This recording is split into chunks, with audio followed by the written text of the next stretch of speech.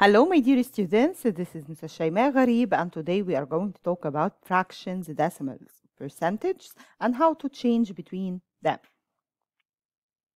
First, let's start revising some rules before you watch any video. You have to sit in a quiet place.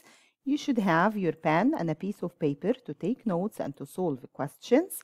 You should pause the video after each question, then you, you try to answer on your own.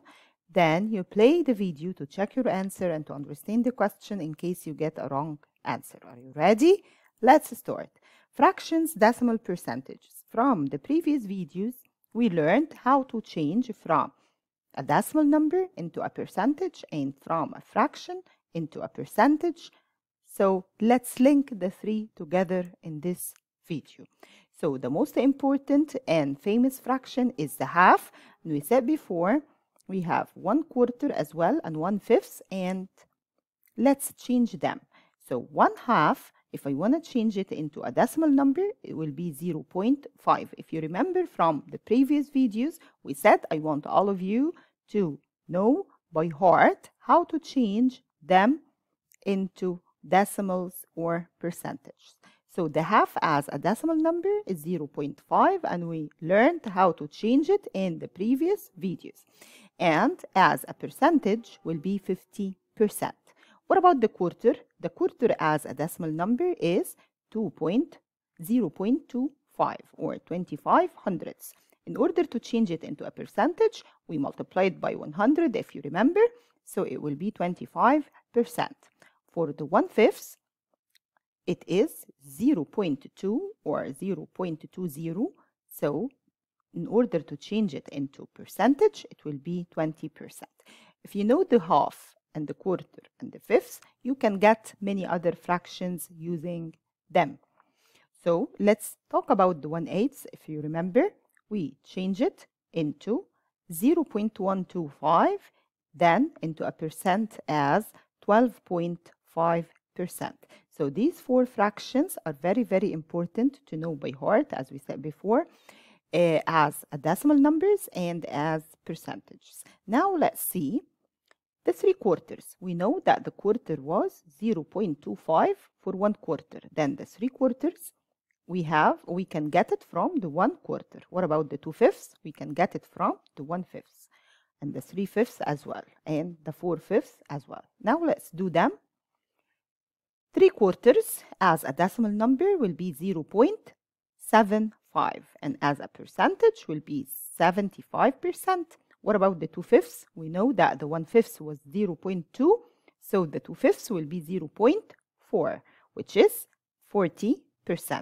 The 3 fifths, as we know from the 1 fifth, if the 1 fifth is 0.2, then the 3 fifths will be 0.6, which is 60%. What about the 4 fifths? We are going to do it the same way it will be 0.8, which is 80%. So please, I want all of you to study these fractions because it will help us in all the coming uh, lessons about percentages.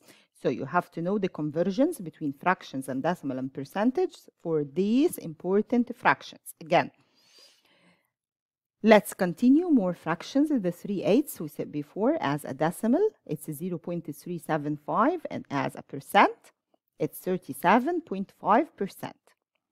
And the 5 fifths is 0.625, which is 62.5%. And the 7 eighths equals 0.875, which is 87.5%. Now let's talk about the 2 eighths. The 2 eighths is same as, what do you think? What fraction is it? If I simplify it, it will give me Yes, one quarter. And one quarter is 0.25, which is 25%. What about the 4 eighths? 4 eighths is same as half. It's the equivalent a fraction for the half. And the half is 0.5, which is 50%. And what about the 6 eighths? If you simplify it, you will get 3 quarters. And the 3 quarters as a decimal number will be 0.75 as a percentage will be 75%. Is this clear? Now let's talk about this fraction, one third. This fraction is very special fraction because if we change it into a decimal, it will give me an endless number. So it will be 0.33333 forever. So in this fraction, if I have it, I can write it as 0.333 or 0.33. So when I change it into a decimal, it's called, by the way, recurring fractions because it has no end and the numbers will be repeated forever. Okay, so when I change it into a percentage, do you remember? We multiply by 100. When we change a decimal number into a percentage, we multiply it by 100, so it will be 33.3%. What about the two-thirds? So if the one-third equals 0.33333 forever, then the two-thirds will be 0.6666 forever. So it, in order to change it into a percentage, uh, I will multiply it by 100, so it will be 66.6%. Okay? So these two fractions are very important to know it as well by heart and to study all the fractions in this video, please. Okay, now let's go to our questions time. Arrange the following numbers in increasing order, and we said before increasing means ascending, which means starting from the smallest. So I have some fractions and decimal and percentage, the three together. So what do you think? Which is better, to change all of them into percentage or to change all of them into a decimal or to change all of them into fractions? The better is to change them into percentage or into decimal. Let's see. If I want to change them into percentage, so this is 20, 13 over 20. So this 20 must be 100. How to make the 20 100? By multiplying by 5 up and down. So when you multiply the 13 by 5, it will give me 65 over 100, which is 65 percent. Then I have 75%. What about the 4 fifths? The 4 fifths is 80 percent. What about the 0 0.7? 0 0.7 is 70 percent. And what about the 0 0.82? 0 0.82 means 82 percent. Now I can change all of them, or I can order all of them in increasing order. The smallest one here, as you can see, is the 65%, which is 13 over 20. So I will write 13 over 20 first. I will cross it out. Then I will look at the next smallest percentage, which is the 70%, as you can see here. So I will write it as 0 0.7. So I will cross it out. Then which one is the smallest? Is 75%. So I will write it next. I will cross it out. Then the smallest one is 4 fifths, which is 80%. So I will write the 4 fifths. And remember, we write the numbers that mentioned in the question. And the greatest one is 0.82 or 82%, so I will write it 0.82. Which numbers make the number sentence correct? I have these numbers, as you can see, 6 over 8, 39%, 3 over 6, and 0.5 and 0.35, and 70%. So we have here a number sentence, a number that is greater than 1 over 2 or half. In order to answer this question, so I need to know the value of the 1 half here. I can write it as a decimal. So it's if it I want to change it into a decimal, it will be 0 0.5.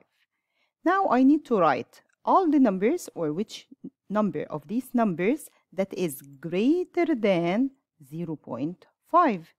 So what about the 6 over 8? 6 over 8 as a fraction could be 3 over 4, which is 3 quarters, right? So 3 quarters means 0 0.75.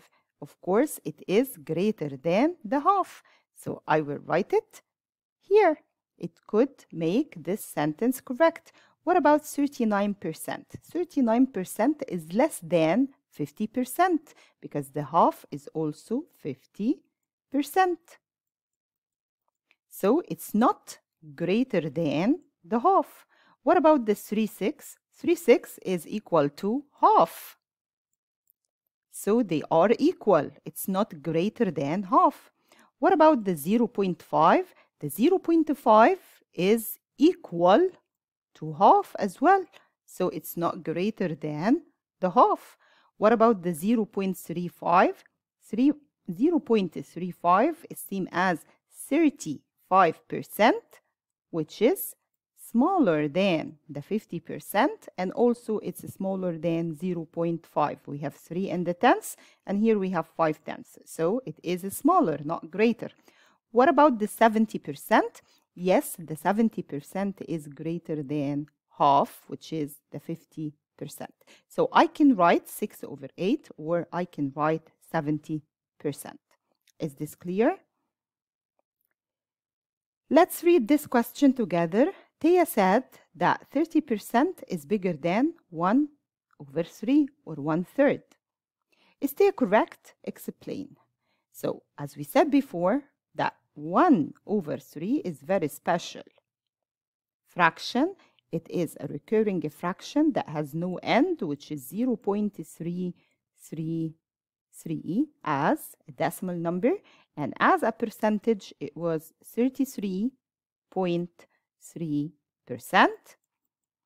And 30% is, as you can see, smaller, not bigger. So I will answer as no. My answer will be no. And in the explanation part, as we said before, when we do this type of questions, you have to write mathematical sentence, mathematical fact, not words. Okay? So I will write that 30% equals 30 over 100, which is 3 over 10, which is 0 0.3. Okay, so this is the 30%. But, and as we know, the 1 over 3 is 0 0.333. So, which is bigger? Is the 30% bigger than one third? Is 0 0.3 bigger than 0 0.333? No. So, this is the explanation part. So you have to write the value of each in decimal or to show that you know the value of each one in decimal to compare them. Is this clear? This is the end of our lesson today. I hope you enjoyed the video and if you have any question, please feel free to leave a comment and I will answer you as soon as possible. Please remember that your feedback is highly appreciated. Thank you very much and have a nice day.